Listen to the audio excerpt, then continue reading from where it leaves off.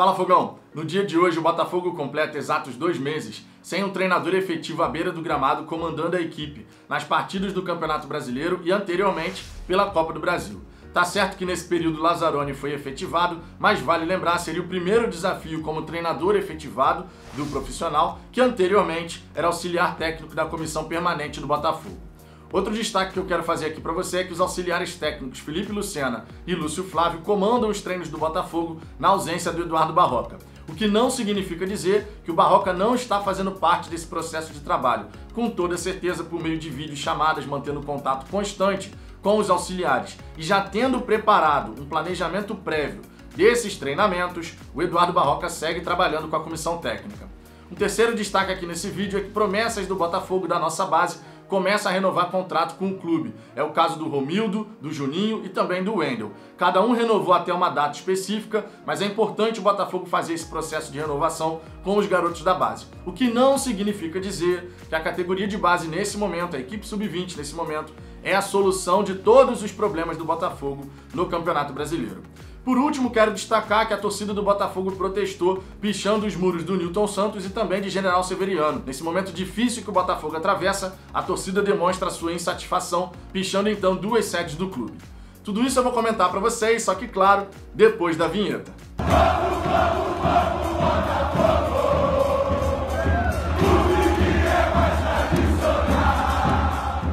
Vamos lá, Fogão, antes de mais nada, alguns pedidos para você. Se você gostar desse vídeo, eu peço por gentileza que você deixe o seu like, compartilhe nos seus grupos do WhatsApp. E além disso, se você ainda não for inscrito aqui no canal, peço que se inscreva para que a gente possa alcançar a marca de 4 mil inscritos. Se você puder fazer parte desse crescimento do canal, eu vou ficar eternamente agradecido.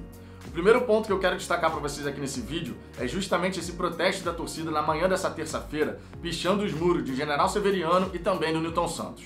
As palavras de ordem foram fortes Teve pedido pela saída do Cícero, do Honda, do Calu e também ameaças de morte caso o Botafogo caia para a segunda divisão. Aqui eu vou dar uma opinião muito pessoal, muito particular em relação a esse tipo de situação. Se você tiver uma opinião contrária à minha, não tem o menor problema. Eu apenas peço que você se manifeste nos comentários de maneira respeitosa, porque a gente pode pensar diferente e ainda assim torcer pelo sucesso do Botafogo, que é o nosso time do coração, certo?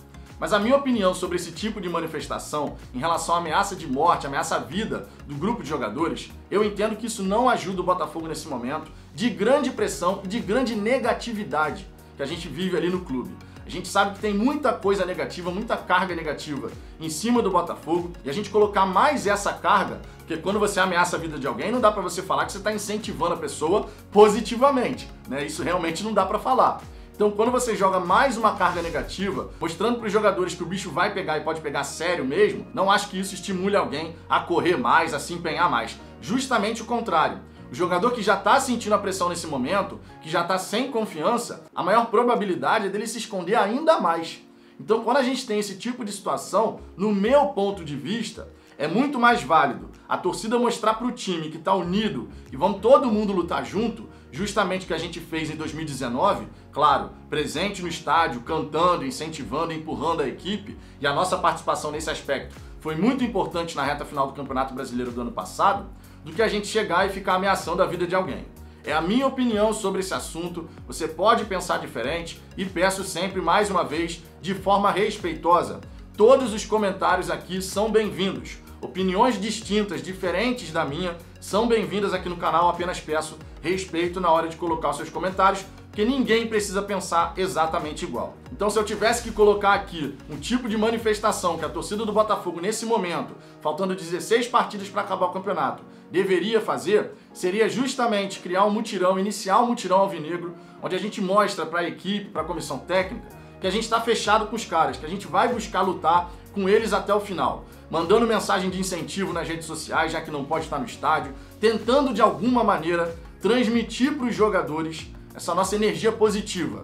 A torcida do Botafogo está irritada, está chateada, é impossível não estar com esse momento que o Botafogo atravessa, tá? No Z4 do Campeonato Brasileiro, realmente numa situação muito difícil, mas a gente colocar mais carga negativa em cima de um ambiente que já está bem carregado, eu não acredito que seja a solução. Enfim, é a minha opinião. Se você tiver uma opinião distinta, fique à vontade para deixar o seu comentário. Conforme eu disse, a sua participação de maneira respeitosa sempre é muito bem-vinda, certo? Seguindo em frente, eu quero falar sobre as promessas da base do Botafogo que renovaram o seu contrato com o Glorioso. O Romildo renovou até 2023, o Wendel até 2022 e o Juninho até 2021.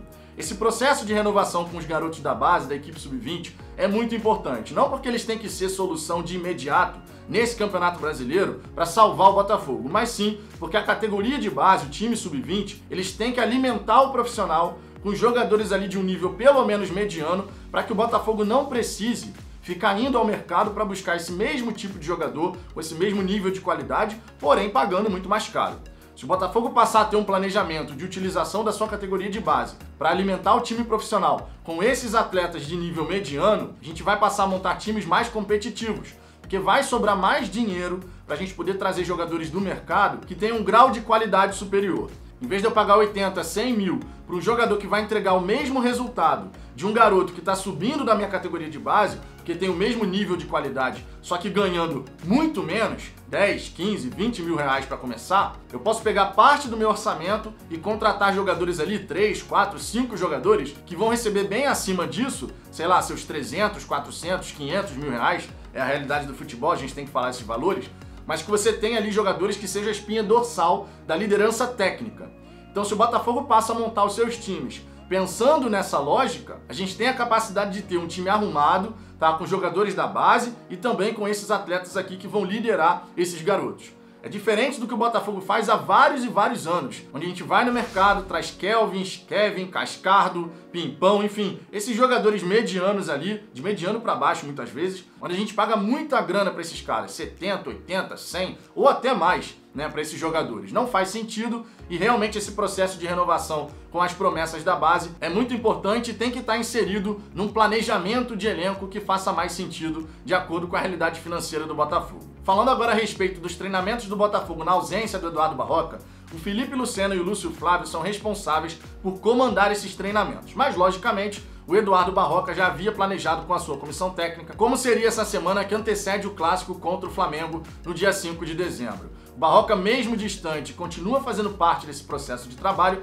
mas quem está à frente do grupo, orientando, pedindo dedicação dos jogadores ali no dia a dia, presencialmente, é o Lúcio Flávio e o Felipe Luciano. Felipe Luciano, que inclusive vai ser o responsável por comandar a equipe do Botafogo nesse clássico contra o Flamengo. É ele que vai ficar ali como treinador interino nessa partida, com o Lúcio Flávio auxiliando nas decisões ali. Certamente vai ter uma influência do Barroca em tudo que vai acontecer, mas nesse momento quem vai ficar à frente da equipe realmente são os dois auxiliares. É curioso o que acontece com o Botafogo, porque nesse momento a gente está passando por uma situação exatamente igual que a gente passou com a comissão técnica do Ramon Dias o Emiliano Dias ficou à frente da equipe, o Ramon Dias afastado e eles tendo que fazer esse contato aqui só por meio de vídeo chamada. O Botafogo que argumentou que optou pela saída do Ramon Dias, justamente porque o comandante ia demorar para chegar, acaba passando por essa situação de ver o Barroca só retornar, talvez ainda, contra o time do São Paulo. Eu digo talvez porque são 10 dias de protocolo e no final desses 10 dias ele tem que fazer um novo teste para Covid-19. Se der negativo, ele está liberado. Se ainda não der negativo, segue o afastamento.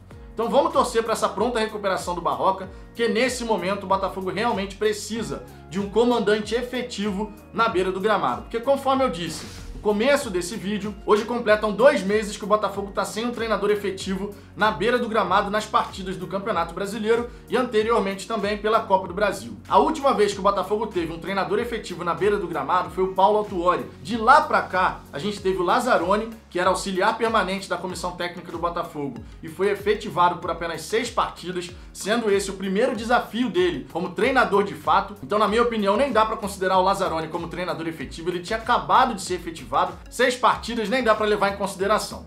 Depois do Lazzaroni, a gente teve o Flávio Tênis, que obviamente, por ser preparador de goleiros, não está acostumado a fazer esse tipo de função. Não tem qualquer influência, qualquer culpa nos resultados que aconteceram durante o período ali, o curto período que ele esteve à frente da equipe. Logo em seguida, o Botafogo contratou o Ramon Dias, mas o treinador precisou viajar para o Paraguai para fazer aquela cirurgia de retirada de um nódulo da garganta. Então quem comandou a equipe foi o Emiliano Dias, nessas três partidas em que a gente teve três derrotas. E agora, com o Barroca sendo anunciado, novamente a gente fica sem um treinador efetivo, porque o Barroca teve que ficar afastado por conta do coronavírus. Então são dois meses em que a gente não sabe o que é ter um comandante de fato na beira do gramado. E na situação que o Botafogo se encontra, esses dois meses podem fazer toda a diferença. Nesse momento, inclusive, estão fazendo toda a diferença, não dá pra gente negar. São dois meses jogados fora, digamos assim. É claro que o grupo de jogadores poderia ter conseguido resultados diferentes nesse período. A gente teve sim oportunidades de chegar à vitória em algumas partidas, mas ainda assim a gente esbarrando nessa falta de confiança, nessa falta de profundidade do time do Botafogo, que não consegue balançar as redes com facilidade. Tanto é que o Botafogo tem média de um gol por partida nesse Campeonato Brasileiro. A gente vai esbarrando nas limitações técnicas e também nessa falta de força mental para poder lidar com essa pressão desse momento. É um momento muito conturbado do Botafogo e aqui mais uma vez eu deixo a minha opinião. Se existe alguma coisa que nós torcedores podemos fazer, esse alguma coisa seria mandar mensagens de apoio para o grupo de jogadores, para a comissão técnica. Eles têm que sentir que a gente está junto nessa luta. É o nosso time do coração. É como diz a nossa música: os jogadores vão e vêm. A gente é que vai estar tá lá sempre. Então a gente precisa mais uma vez lutar. A nossa torcida de alguma maneira tem que estar tá nessa luta. Não podemos frequentar o Newton Santos nesse momento, infelizmente. Tenho certeza absoluta que a torcida do Botafogo não abandonaria o time nesse momento. E a gente de alguma maneira precisa mostrar que a luta é nossa também. Porque no fim das contas, quem vai sofrer de fato com o rebaixamento somos nós torcedores. Então a gente não pode jogar toalha, porque se a gente que ama o clube jogar toalha, Imagina os jogadores que já sabem que vão sair do Botafogo no fim desse Campeonato Brasileiro. Então que a gente possa se unir, que a gente possa lutar junto, porque com toda certeza essa luta também é nossa. Mas e você, Fogão, o que você pensa a respeito desses temas que eu trouxe aqui para você? Deixe seu comentário aqui embaixo, a sua participação é sempre muito importante. Deixe o seu like se você gostou desse vídeo. Naturalmente, mais uma vez eu te peço, se você ainda não foi inscrito no canal, se inscreva para que a gente possa alcançar a marca de 4 mil inscritos. Eu aguardo vocês no próximo vídeo. Vamos, vamos, vamos,